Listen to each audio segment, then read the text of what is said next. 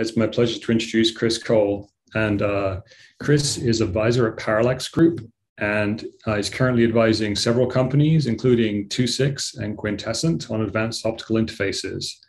Um, and uh, before Parallax, uh, Chris was VP of Advanced Development at Finisar Corporation, where he led the definition and delivered uh, all the generation of 10 through 400 gigabit per second optical interfaces for datacom and telecom applications. Uh, Chris has delivered multiple generations of optical transceivers, leading to billions of dollars of uh, Finisar revenue.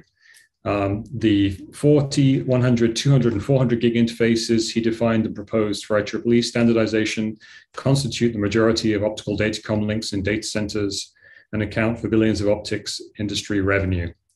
And uh, Chris received his BS in aeronautics and astronautics and his BS and MS in electrical engineering from the Massachusetts Institute of Technology. And he is an IEEE and Optica Fellow. Chris, thanks very much. Your talk is titled Data Center Energy Savings in This Decade. Over to you. Okay, can you uh, see the screen?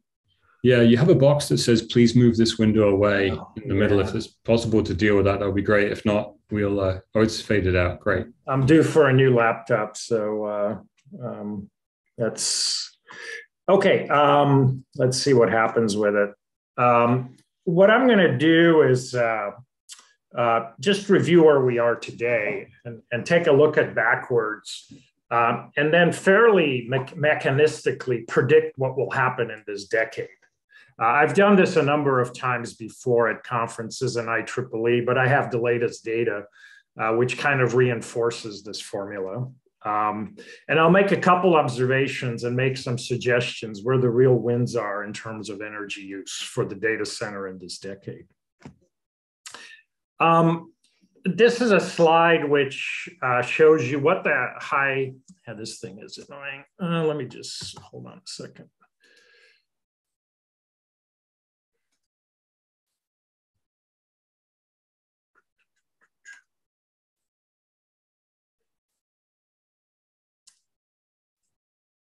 Okay.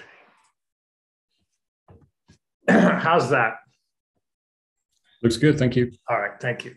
Um, so this just reviews uh, the history of optics uh, from 10G uh, to where we are today at 400G. Uh, and we've had uh, five generations of technology starting at 10 gig per wavelength, 25, 50, uh, and 100. Sorry, four, four generations. Um, and we're all familiar with these. These are the major codes. Um, uh, LR, CWDM4, uh, and we're now shipping um, FR4, DR4, 400G, which gets split out, uh, and same thing for 200G. And we can come back to this if there's specific questions, but I think uh, this is all uh, familiar stuff. Uh, so let me move on to the data. this is how I like to slice. this is from Light Counting, which great um, organization for collecting data. Um, uh, this this is a this is their latest report that I got. So they published this uh, in December, um, and the actual data they have is up through uh, last summer.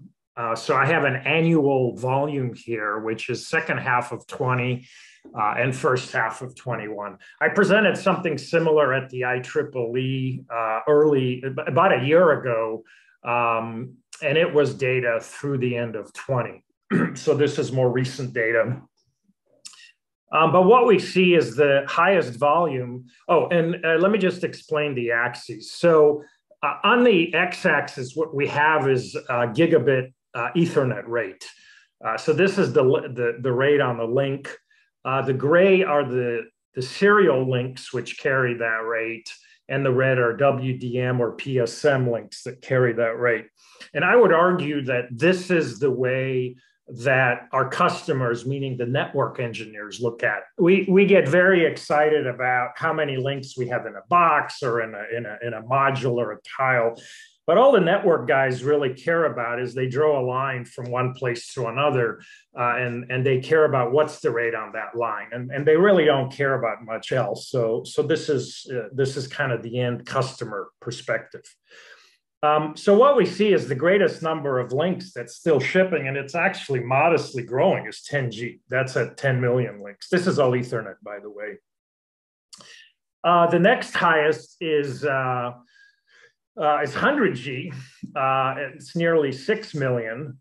Um, and in fact, it's 10 million if you add the 3 million uh, 100G serial links that are shipping. So, so the thing that's really shipping in volume is 10 and 100G. Um, the 40G has been flat at about a million for quite a while, and, and it's actually slightly decreasing. Um, but the thing that's really coming up fast is the 200G.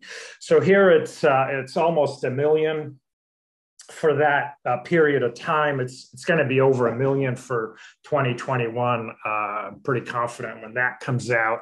Uh, that's the one that's that's growing fast. The other one that's growing fast is 400G, although it's it's really still at at, at very uh, small numbers. There's there's hardly any 400G uh, link deployment. Um, let's see what else is interesting here. Uh, 50G serial, almost no volume. Um, 25G serial, uh, interesting volume of 2 million. Um, so uh, all kinds of interesting conclusions there. Anyway, this is uh, this is hard data, and then uh, all of us can take turns putting a spin on it. Um, so what I've done is I've taken data like that um, and what I've said is that the anchor point for the industry is the IEEE 802.3. That's where everybody gets together and that's where things get standardized. And I came up with a formula based on what happened at 10, 40, 100 uh, gig, uh, actually even going back to one gig, in terms of predicting um, how optics will grow in the future. And I'm not going to go through this in detail again. If there's, I, have done this before, and if there's specific questions, uh, we can certainly go back to this. Uh, but this is two and 400G SMF predictions. Um, uh, the the formula uh, for this for the first million, which is really the important shipment, is that it's four years after for a minor rate after the uh, standard is adopted and it's six years after uh, for the major rate, meaning involving a new technology. Um, and so for a number of years, so th- this is a prediction that could have been made four years ago, and I've been doing that. Um, the 2021 prediction is looking very solid. I mean, it, it, it is going to come true. Um, so that's pretty solid. Um, and if you again extrapolate, continue to extrapolate the 400 gig rate, it looks like we'll hit a million in 2023. So these predictions, which have been sitting around for quite a while, are actually quite solid. And then if you go back to 10 and 40 and 100 G, what you find is you you you get almost exactly the same. So um, you know, with each generation, we tell ourselves it's going to be different this time because, you know, now we have text, now we're sending pictures around, we're sending video around, and it's going to change things around. But the thing we forget is human beings don't change. And innovation pretty much happens at a constant rate. So th- this is actually a pretty good predictor. Um, okay, so here, here I'm starting to get into a crystal ball, but this is my prediction of future high volume Ethernet optics. And again, these are the high volume optics. There is nothing else um, that that hits these kinds of volumes. so for uh, sorry, just to go back here, um, here this is the 12.8 switch node. Uh, which is shipping today either in a 64 128 radix configuration primarily. Uh, and people are either using uh, existing 100G or single wavelength 100G. Um, for 64 radix, it's 200. Um, and then again, very low volume here because 32 radix, uh, I guess, is not terribly useful. So this is uplinks or something. Um, so if we go back, uh, if we now start to predict the future, uh, we have 25.6 and 51 uh, T switches. Uh, we're going to see uh, one more bump in the IO density. I'm not going to differentiate with how that's um, uh, with how that's going to play out. Uh, but I think we're going to see the same thing. We're going to see very high volume of 200 GFR4 and a QF, QSFP 56 supporting 25.6. And we're also going to see uh, very high volume and, 200G single wavelength at some point uh, supporting, and these are both radix of uh, 128. Um, we're also going to see a high volume of uh, 64 radix, which is going to be uh, 400G. Uh, uh, and then again, 800G, which we're looking at standardizing now, whether that's FR8 or FR4, is going to see very modest volume because at a radix of 32, I'm being told that's not very interesting. Um, and that's fully supported with existing OSFP and QSFP technology. Um, and then for the 51.2 T node, um, again, we're going to see very similar 64 and 128 radix.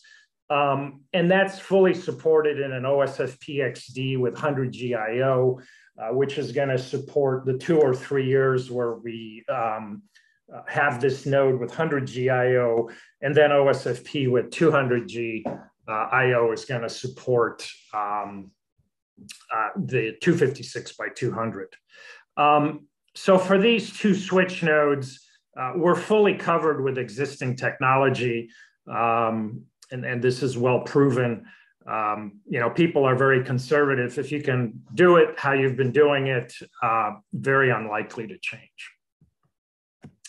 And I'm going to turn the crank again. So remember what we did last time is we predicted 400, um, uh, 200 and 400. So now I'm going to predict 800 and 1600, uh, as well as 200 single wavelengths. Um, and so what we see is for 200G single wavelength, we'll probably hit uh, first million in 2028. For 800G, we'll hit the first million in 2029. And uh, 1.6 tera won't hit uh, first million until at least a decade from now. Um, Okay. So um, let's take a look at uh, uh, now at energy use.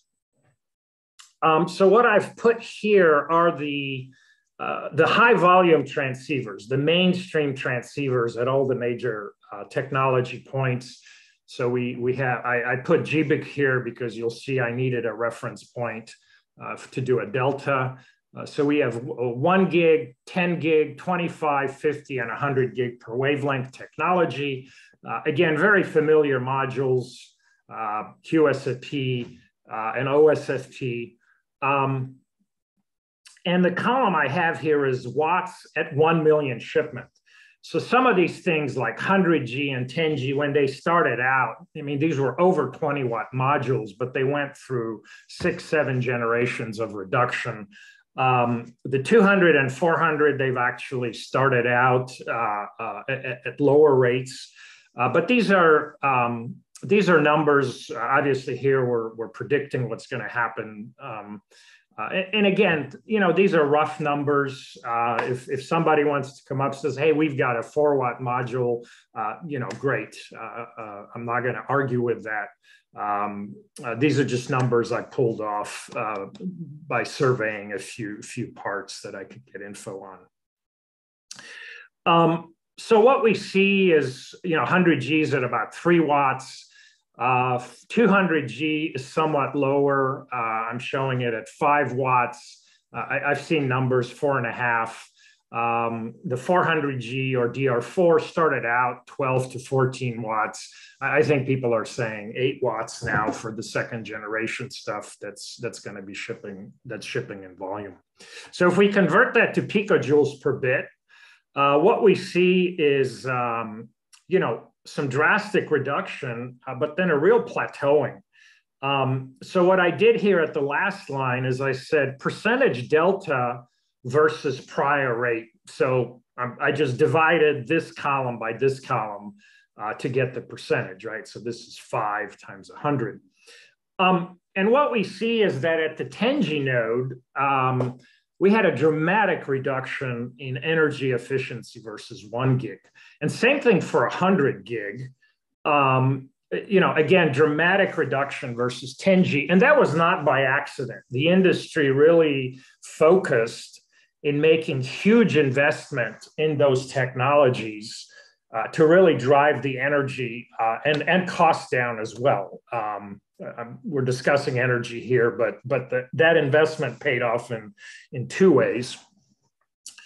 But if we look at 50 and 100G technology, what we see is there's very little um, in terms of energy use reduction uh, compared to the prior rates. I mean, we, we really are dramatically plateauing. So 100G was about 30 picojoules per bit, and we're looking at 20 picojoules per bit uh, for these 100G per wavelength technology. Um, so now comes the fun part because you know we can all uh, uh, uh, give our own uh, insights into why this is, but I'll give you mine. Um, so let's start out with observations. Um, the high volume optics that we'll use this decade are 10, 25, 50, and 100. Uh, 200 gig per wavelength optics will not see volume till the end of the decade. It doesn't mean we're not going to see, you know, low low volumes like we've seen with all the other things, but in terms of significant volume, uh, you saw the predictions 2028, 29, 31. Uh, pluggable modules, uh, QSFP and OSFP variants uh, will fully support all the switches that are of interest uh, to people through 51T. Uh, and pluggable modules will be the high volume form factor. You know, there may be some niche uh, deployment of, of other uh, approaches, but this is going to be the bread and butter. Um, what is true is that investment in 50G per wavelength optics has been limited, and that was deliberate to focus on 100G per second optics. Uh, but what's interesting about that is this is the first wavelength technology generation that deliberately has seen an underinvestment. Um, I've not been in optics my whole career, but I've, I've seen it at least since since uh, gig, and I've never quite seen this. This is very unusual. Um, and the interesting result is that uh, you know 100G is certainly a stretch, um, but neither 50 nor 100 has seen significant uh, energy decrease, unlike before. Um, now, you know, you can everybody can come up with their reasons, but uh, uh, I'm, I'm going to put this down on the bullet point, and maybe it will lead to an interesting discussion. Um, which leads me to if we're really serious about serving saving energy in this decade, uh, not in the next decade, but this decade, um, we should restore investment in 50 gigabits uh, per second wavelengths. The, the, train has somewhat left the station. Uh, so we're going to have to live with the decisions we made five or six years ago. Uh, but there's still major opportunities. Um, you know the, the the end users can certainly go to the ASIC guys and say we want you to uh, uh, you know migrate your your PHYs into five nanometers or three nanometers. I mean, right there we're talking about just huge amount of energy savings by simple things like that. But somebody's going to have to pay for it. Um, and frankly, I don't think it will happen. Which leads me to believe that energy use is actually not that important because if you have a clear situation where someone can take dollars and save a ton of energy and it's not done, it, it says it's just, it, we're just talking about it. Now, I think the real opportunity lies in concentrating investment in 100 gig per wavelength. Let's kind of recognize what happened in the last five, six years. Um, you know, we've been after 100G now for many years. And so let's really get a payoff for this focus on 100G and sort of not repeat the, the 50G mistake and now jump to 200G. Um, and, and, you know, we'll have this conversation again in six years and say, gee, why isn't our energy going down? Um, be, and, you know, I'll, I'll just take this, this, this presentation and double every number in here and say, well, that's, that's why. So I think th these are the, if we're really serious about energy use, uh, these are the concrete steps that can be taken that will actually make a difference. Thank you. Great. Um, thanks very much, Chris, for that uh, that historical perspective and that uh, forecast going forwards.